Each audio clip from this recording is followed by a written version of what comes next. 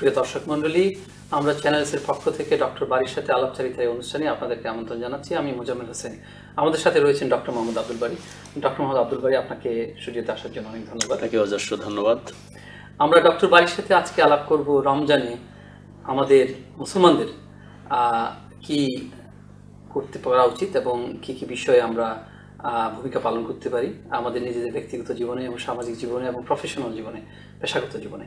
তো ডক্টর বাড়ি আমরা জানি যে রমজানটা এমন একটা মাস যে মাসটা সম্পর্কে নন মুসলিমদের মধ্যে ধারণা অন্যান্য জিনিস থেকে অনেক বেশি। রমজান সম্পর্কে আহ, আপনি সচেতনতা বেশি মুসলমান মুসলমানদের মধ্যে রমজান সম্পর্কে মানুষ ইন্টারেস্টেড বেশি আমরা জানি অনেক প্রফেশনাল যারা আমরা প্রফেশনাল পেশাগত জীবনে আছি তাদেরকে অনেক ছাড়ও দেওয়া হয় রমাদানে তো এই মাসটা কি আপনার মনে হয় না যে এই মাসটা নন মুসলমানদের কাছে পৌঁছার ক্ষেত্রে আমাদের একটা গুরুত্বপূর্ণ মাস যেটা আমাদের কাজে লাগানো উচিত? অবশ্যই এটা আমাদের করা দরকার, কিন্তু প্রথমে রোজার মাসের গুরুত্বটা আমাদের নিজেদের ভালো করে বোঝা দরকার। এটা আল্লাহ পাকের মেহরবানি যে মুসলমানদের মধ্যে অনেকে যারা হয়তো ঠিকমতো প্র্যাকটিস করেন না, করতে পারেন না, রোজার মাসে আসলে কিন্তু বেশিরভাগ মানুষ প্র্যাকটিস রোজাটা রাখেন আল্লাহর রহমতে। এমনকি ছোটো ছোটো ছেলে মেয়েরাও রোজা রাখে। মানে this is really really an encouraging thing এবং এটা আসলে রোজার মাসে যে একটা রুহানি পরিবেশ মুসলমানদের মধ্যে সৃষ্টি হয়, ভালো পরিবেশ, সুন্দর পরিবেশ, এটা যদি বাকি এগারো মাস থাকতো সুহান আল্লাহ আমরা কিন্তু অনেক উপরে উঠে যেতাম। আসলে রোজা তো একটা কম্পালসারি জিনিস, আমাদের ধর্মীয় পাঁচ পাঁচ রোকনের মধ্যে একটা। এবং এবং আল্লাহ তালা কালামে পাকের মধ্যে বলেছেন যে, এই রোজা তোমাদের জন্য ফরজ করা হয়েছে, যেমন ফরজ ছিল পূর্ববর্তী জাতিদের উপরে। এবং তার টার্গেট হলো মূল উদ্দেশ্য হলো রোজার লা আল্লাকুম তাত্তাকুন যেন তোমরা তাকুয়া অর্জন করতে পারো। এটার ব্যাপারে অনেক কথা আছে বই লেখা আছে এবং আমরা ডিসকাশন করি। তাকুয়া বলতে কি বোঝায়? তাকুয়া হলো একটা inner inner inner situation of a heart and individual যেটা মানে আল্লাহর উপস্থিতিটাকে প্রতিনিয়ত সে অনুভব করে। এবং ভালো করুক খারাপ করুক তার সত্তার মধ্যে একটা অনুভূতি থাকবে আল্লাহ আমাকে অবজার্ভ করতেছেন আল্লাহ আমাকে দেখছেন। আমার ভালো কাজ আমার মন্দ কাজ nothing can be hidden by Allah from Allah so এই ফিলিংসটাই so important in Islam in fact ইসলামের যতগুলো রিচুয়াল এবাদত আছে নামাজ অথবা হজ যা কিছু আমরা করি তার দুটা দিক আছে। একটা দিক হলো যে আমরা এই কাজটা রসুল সাল্লাহ ইসলামের সন্না অনুযায়ী ইসলামের নিয়ম আমি করলাম ভালো। ভালো ভালোভাবে পালন করলাম। এটা হলো একটা বডি এবাদতের বডি আর মূল জিনিস হলো যে এটা আমরা কোন নিয়তে করলাম? এটা কি আমরা আল্লাহকে সন্তোষজনক করে করলাম? নাকি কোনো দুনিয়াবি স্বার্থের জন্য করলাম অথবা অভ্যাস হিসেবে করলাম? এটা যদি পিওরলি আল্লাহ সন্তুষ্টির জন্য করা হয় আল্লাহকে ভালোবেসে আল্লাহকে ভয় করে আল্লাহর সান্নিধ্য পাওয়ার জন্য করা হয় তাহলে এটার যে প্রতিফল আমরা পাবো এবং এর- মধ্যে অনুষ্ঠানের রিচুয়াল বা আরকাম আরকাম যদি আমরা পালন করি then one month is the training that can help us in the rest eleven month তারপরে তো আমরা দেখি যে এই এই ট্রেনিং মান্থে দেখা যায় যে অধিকাংশ মানুষ রোজা রাখে। অধিকাংশ মানুষ রোজা রাখেন মুসলমানদের মধ্যে। খুব কম মানুষ যারা রোজা রাখেন না বা সমস্যার কারণে। এবং যারা কখনো নামাজ পড়েন না তারাও রোজা। রাখেন। সিগারেট যারা খান তারাও সিগারেট ছেড়ে দেন। তো এই যে একটা খুব খুব সেন্সিবল মানুষ হয়ে যান প্র্যাকটিসের ব্যাপারে। খুব সিরিয়াস হয়ে যান। কিন্তু এই সিরিয়াসের পরেও সিরিয়াসটি ডেফিনেটলি আল্লাহর আল্লাহর প্রতি ইয়ে না থাকলে তো এটা মানুষ হতো না। অবশ্যই অনেক কিছু ছেড়ে আসছে সেখানে নামাজ পড়তেছে না। সেখানে নামাজ পড়তে পারতেছে না কিন্তু রোজাটা কষ্ট করে রাখতেছে সারাদিনে। তারপরেও কেন আপনার মনে হয় যে এই নামা এই রমজানটা সেরে গেলে শেষ হয়ে গেলে আমাদেরকে আমরা আবার প্রিভিয়াস প্র্যাকটিস থেকে চলে আসি? এটাই বড় প্রশ্ন এবং এটাই আমি প্রথমে বলছিলাম যে আসলে এটা বাকি এগারো মাস কীভাবে জিয়ে রাখা যায় কনসিস্টেন্টলি রেজিলিয়েন্সের সাথে এই প্ল্যানটাও রোজাদারদেরকে করা দরকার বলে আমি মনে করি মাসের প্রথম থেকে। যে আমি নিয়ত করেছি রোজা রাখার এক মাসের এক মাসের পরে আমার কমতি কিছু হতে পারে, স্বাভাবিক কারণে because I am not in the Ramadan environment কিন্তু আমি যেন নামাজটা বাদ না দিই, আমি যেন রোজার মধ্যে যে ভালো কাজগুলো করেছি, তার একটা ফ্র্যাকশন কমপক্ষে আমরা করি।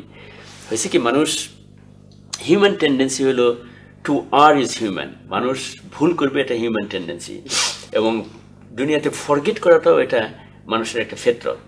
মানে ইনসান শব্দটা একটা আরবি শব্দ থেকে আসছে যেটা ভুলে যায়, মানুষ ভুলে যাবে। এজন্য ব্যক্তি যদি এখানে পিছনে পড়ে যায়, তার ফ্যামিলি তার নেইবার এই সব মিলিয়ে যদি একটা ছোট্ট একটা ডিসকাশন গ্রুপ করে অথবা ইনফর্মাল আলোচনা চালায় অথবা একটা রুটিন করে যে রোজার মাসে আমি এই কাজগুলো করব, এই কাজগুলো করব, এই কাজগুলো করব। আমি সারা সপ্তাহে রোজা সারা মাসে রোজা রাখব না, কিন্তু মাসে আমি তিন দিন রোজা রাখব। অথবা প্রতি সপ্তাহে দুই দিন আমি রাখব অথবা না পারলে কমপক্ষে একদিন রাখব। এইভাবে যদি রোজার মাসে একটা প্ল্যান করে ফেলে এবং আগামী রোজার আগ পর্যন্ত এটাকে যদি মাঝে মাঝে চেক করে whether I am following that then সম্ভাবনা আছে যে রোজার মাসে সহজে কিছু কমে যাবে। কিন্তু তারপরেও আমরা রোজার যে স্পিরিট এটাকে আমরা ধরে আপনি বলতে চাচ্ছেন যে যেটা আমাদের সমাজ যেটা হয় সেটা হচ্ছে যে রোজাতে আমরা এত বেশি পরিশ্রম করি যে আমি দেখেছি যারা নামাজ পড়েন না তারা কিন্তু অনেক বেশি নফল ইবাদত করেন রোজাতে। এবং রোজাটাকে এত সিরিয়াসলি নেওয়া হয় কিন্তু পরবর্তী মাসটাকে সিরিয়াসলি নেওয়া হচ্ছে না। কিন্তু আপনি যেটা বলছেন যে রমাজানের রোজার সাথে সাথে বাকি মাসগুলোর প্ল্যানটা ওই প্ল্যান অবশ্যই থাকা থাকা উচিত। নাহলে এটা থেকে যে বেনিফিট হবে এটা কনসিস্টেন্ট হবে না। তো এটা তো একটা অলসো রমাদানটা আমাদের জন্য কাজ করে একটা কমিউনিটি ইয়ে হিসাবে কমিউনিটি ফেস্টিভ্যাল হিসেবে বলতে পারেন যাই বলুন। ঈদটা যদিও আমাদের কমিউনিটি ফেস্টিভ্যাল রমাদানটাও একটা ফেস্টিভ্যাল তো মনে হয় অনেকের কাছে। রাতে অনেক রাতে নামাজ থেকে যান অনেকে তারা পড়েন একসাথে। অনেকের সাথে দেখা হয় যেটা হতো আগে দেখা হতো না। তো এ থেকে বেনিফিট কি নিতে পারে community as a whole benefit এটাই যে এই যে এই যে আমরা একসাথে মেলামেশা করে সবাই মিলে রোজা রাখছি এবং আমাদেরকে মানুষ অন্য মানুষ দেখছে তারা উৎসাহিত হচ্ছে এটা মনের মধ্যে সজাগ রাখা দরকার যে আমি যে কাজটা করছি এটা আমার ইন্টারনাল চেঞ্জ কতটুকু নিয়ে আসছে। এবং ইন্টারনাল চেঞ্জের মাপকাঠি কেউ করে দিতে পারবে না নিজের ব্যক্তি ছাড়া। তার নিজের একটা ব্যারোমিটার থাকা দরকার যে আমি ইমানের দিক থেকে এই লেভেলে আছি। আমি এই পর্যায়ে পৌঁছে গেছি সাতাশে রমাজান বা শেষের শেষের দিনগুলোতে আমি আরও উপরে পৌঁছে গেলাম। আমি এখান থেকে নামতে পারি কিন্তু একজন মাটির নিচে যাতে চলে না যায়। হ্যাঁ, আমার এটা আমার আমার ইয়ে রাখতে আমার এটা যাই জিয়ে রাখতে হবে। এবং এটা যদি ফ্যামিলির সাথে আলাপ করে করা হয় যে ওকে আমরা আগামী আগামী এগারো মাসে ফ্যামিলিতে আমরা সপ্তাহে একদিন রোজা রাখব অথবা দুই দিন রাখব। অথবা আমরা এই কাজগুলো আমরা করব।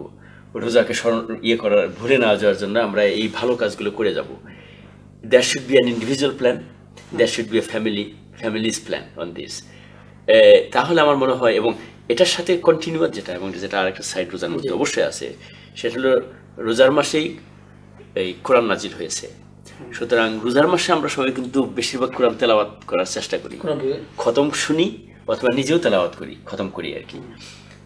আমার মনে হয় যে রোজার বাইরে এই একটা প্ল্যান করা দরকার যে সারা বছরে এগারো মাসে পুরো কোরআন শরীফটা অর্থসহ অথবা তফসির আমরা পড়তে পারি কিনা। তাহলে হবে কি প্রতিনিয়ত প্রত্যেকদিন যদি আমরা চেষ্টা করি একটা সেকশন করে তাহলে কিন্তু আমাদের এটা প্রতিনিয়ত আমাদেরকে রিমাইন্ডার দিয়ে দেবে। তার মানে মূল কথা হলো প্ল্যান করা দরকার এবং প্ল্যানটাকে বাস্তবায়ন করা দরকার। প্ল্যানটা রমাদানের আগে করা উচিত। প্ল্যানটা রমাদানের আগে করা দরকার রমাদানে এটা একটা ইয়ে করা শুরু হলে সাথে সাথে করা উচিত। সাথে সাথে করা দরকার রমাদানের শেষে যাতে এটা ভুলে না যায় এটা একজন আরেকজনকে রিমাইন্ডার দেওয়া দরকার টেবিলের মধ্যে লিখে রাখা দরকার। একটা প্র্যাকটিক্যাল ডিফিকাল্টি আছে অনেকের নামাজের ক্ষেত্রে যেটা হয় যে মনে করেন আপনার আহ, রমাদানের সময় নামাজ অনেক লম্বা হয়। আহ, নামাজ যারা বিশ পড়েন আহ, তাদের তো অনেক লম্বা হয় তারপর সময় কম থাকে। তো এইসব নামাজ, এই যে রিচুয়াল মানে নামাজ টামাজ পড়ার পরে লোকজন প্র্যাকটিক্যালি আপনার আপনার নিজের পার্সোনাল এক্সপিরিয়েন্স একটু বলেন। যে মানুষ প্র্যাকটিক্যালি কীভাবে সময় বের করতে পারবে কোরআনকে স্টাডি করার জন্য? এত কিছু করার পরে। ব্যক্তি যদি চাকরি করে অথবা খুবই বিজি থাকে, তাহলে এটা এত- সহজ হবে না, সেটা আমি সেটা আমি জানি। আমি নিজেও চাকরি করেছি, আমি দেখেছি ইটস নট ইজি এই জন্য রোজার মাসের যে বেসিক জিনিসগুলো রোজা রাখা, তারাবি নামাজ পড়া এবং কোরআনটা খতম দেওয়া বা যে মিনিমাম কাজগুলো যদি করা যায় প্ল্যান করে একটু আগে ঘুমিয়ে গেলে ঘুমিয়ে সামারে অবশ্য কঠিন আছে এই সিজনটাকে সামনে রেখে ব্যক্তির প্ল্যান করতে হবে। রোজার পরে যেহেতু সময়টা তারাবি পড়তে হবে না অথবা সবসময় রোজাও রাখতে হবে না তখন যদি প্ল্যান করে এই যে আগামী এগারো মাসে আমি এই কাজগুলো করব। আমি পুরো কোরআনটা হয়তো একবার খতম দেব। সেটা তো অসম্ভব না। যেটা এক মাসে খতম দিতে এগারো মাস লাগবে। অথবা আমি এই এই তফসিলটা আমি দেখব। তাহলে হবে কি যে রোজার সেই স্ট্যান্ডার্ড তো অবশ্যই মেনটেন করা সম্ভব না। এবং এটা আল্লাহ আল্লাহ তালা আমার মনে হয় চানো না আর কি কিন্তু আমরা একবারে মাটিতে না যেয়ে আমরা একটু উপরে থাকলাম এবং আমাদের লেভেলটা একবারে নিচে নামলো না। আগামী রোজার মাসে আবার বাড়িয়ে দিলাম। এভাবে যদি চলতে থাকে আমাদের জ্ঞান বাড়বে আমাদের আমাদের ভিতরে রুহানিয়াত বা স্পিরিচুয়ালিটি বাড়বে এবং আমাদের ফ্যামিলির সিচুয়েশন অবশ্যই ভালো হবে। মানে it's over win win situation রোজাটাকে যদি কেউ আমরা ভালোভাবে ব্যবহার করতে পারি। সম্মানিত দর্শক মন্ডলী আমরা ডক্টর বাড়ির সাথে কথা বলছিলাম রমজান নিয়ে। রমজানের উপকারিতা এবং রমজানে কীভাবে আমাদের সময় কাজে লাগাতে পারি নিয়ে। আমাদের সাথে থাকবেন একটা বিজ্ঞাপন বিরতির পর আমরা আবার চলে আসব। সুপ্রিয় দর্শক মন্ডলী বিজ্ঞাপন বিরতির পর আমরা আবার ফিরে আসছি আপনাদের সাথে। আমাদের সাথে রয়েছেন ডক্টর মোহাম্মদ আব্দুল বাড়ি আমরা কথা বলছিলাম রমজানের বিষয়গুলো নিয়ে। ডক্টর বাড়ি আপনি রমজানের ইম্পর্টেন্টের ব্যাপারে আমাদের বিরতির আগে বলেছেন কোরআন নিয়ে। তা কোরআনটা তো আসলেই আমাদের বিশ্বাস, যারা আমরা মুসলমান তারা বিশ্বাস করি। কোরআনটা একমাত্র কিতাব যেটা অখণ্ডভাবে এখনও আছে পৃথিবীতে আল্লাহ প্রদত্ত কিতাব। তো এই ব্যাপারে কি আপনি মনে করেন যে মুসলমানরা, আমরা যারা বিশ্বাস করি, তারা কোরআনের ওপর যথেষ্ট পরিমাণে গুরুত্ব দিচ্ছে যে গুরুত্ব দেওয়া দরকার? আমরা গুরুত্ব কমিয়ে ফেলেছি এবং এই কমিয়ে ফেলার কারণে আমরা পিছনে পড়ে গেছি আসলে।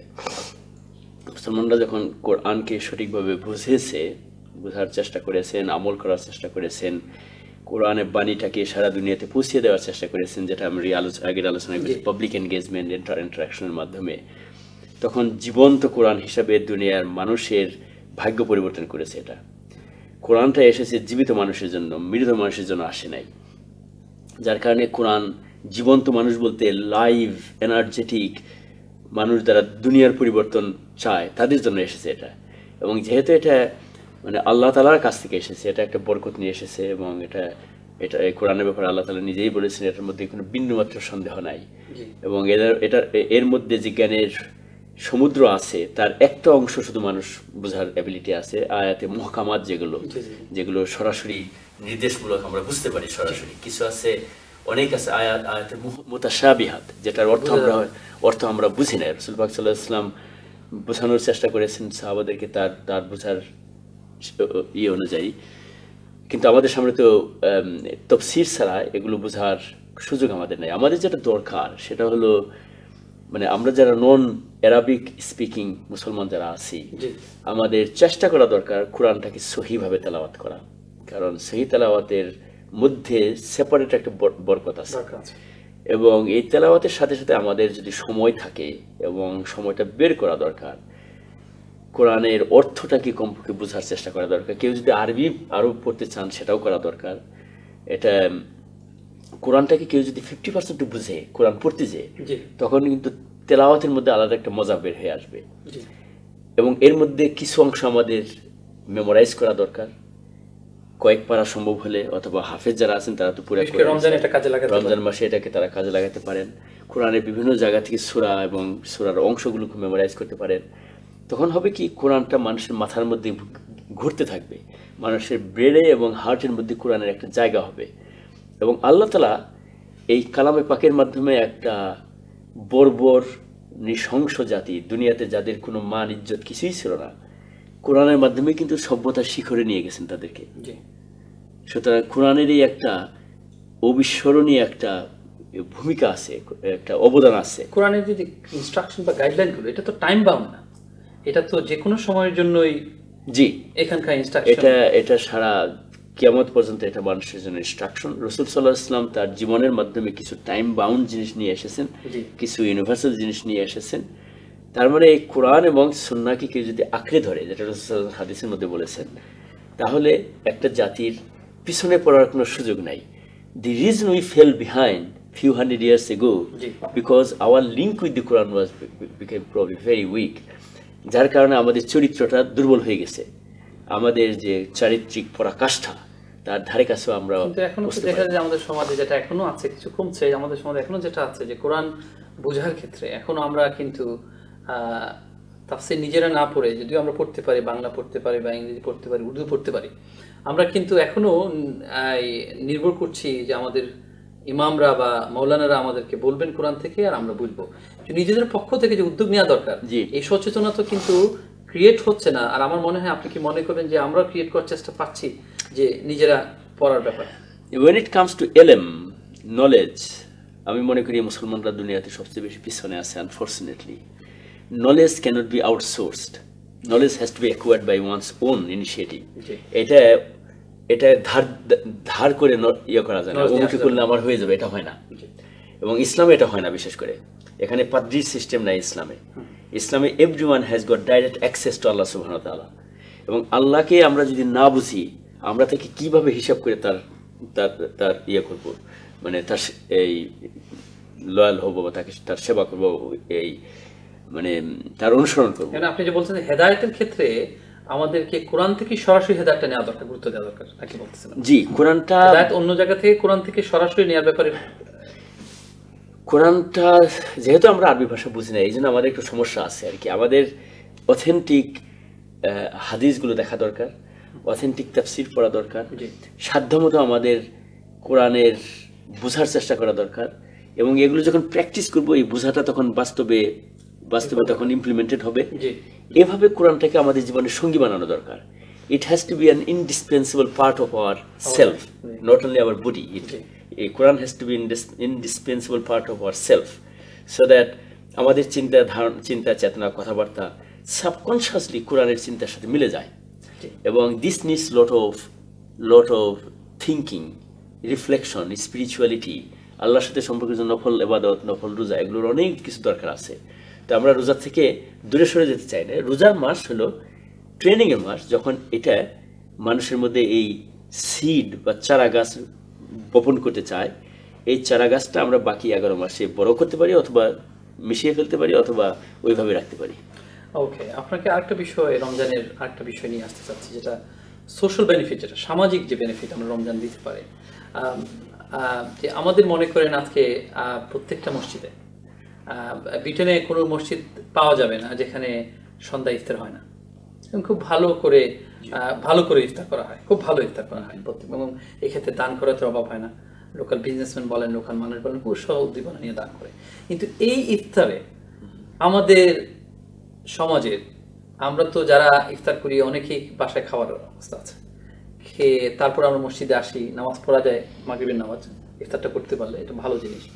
কিন্তু ইফতারে কিন্তু নন মুসলিমদের বা আমাদের আহ, পেশায় যারা আমাদের সাথে যারা পেশায় আছেন বিভিন্নভাবে পাবলিক লাইফে আছেন তাদেরকে কিন্তু আমরা ইনভাইটও করি না।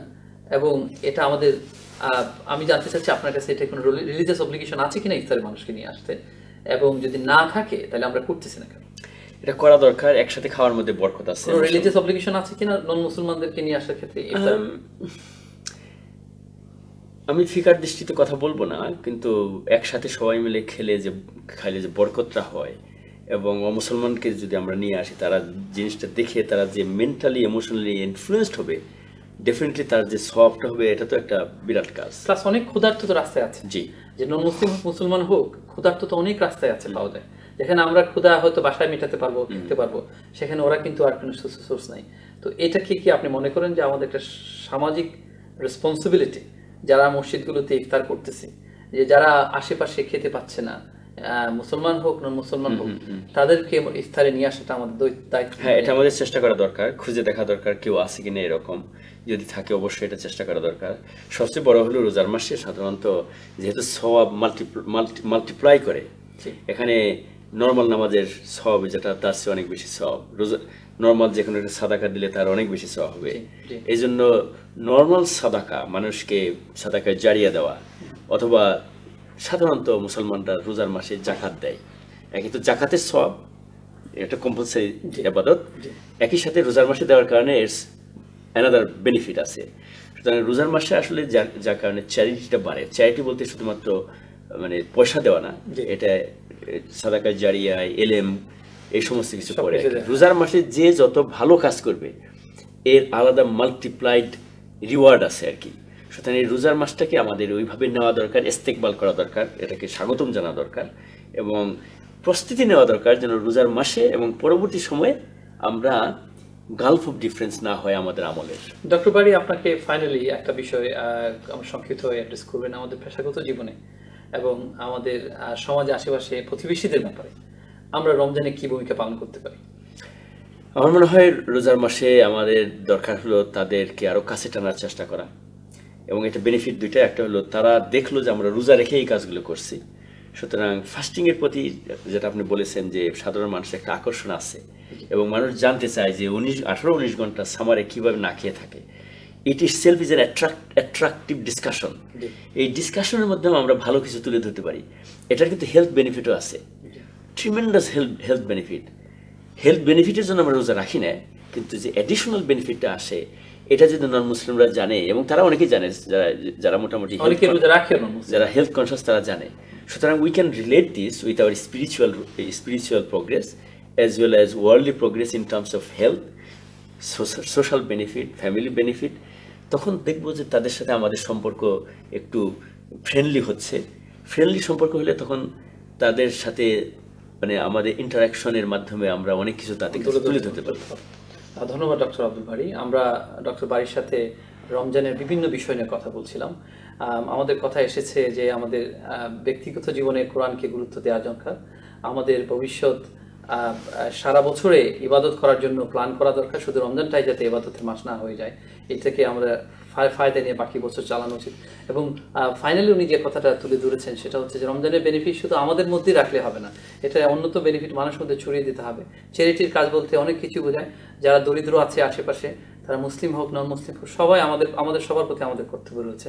আমরা সবারকেই লুক আফটার করব, সবার খবর নেব এবং বিশেষ করে ইফতারেও যদি আমরা পারি নন মুসলিমকে শরিক করব আমাদেরকে সবাইকে আল্লাহ রাবুল আলমী তৌফিক দিন এবং আশা করি আপনারা উপকৃত হয়ে, হয়েছেন আমরা হয়েছি।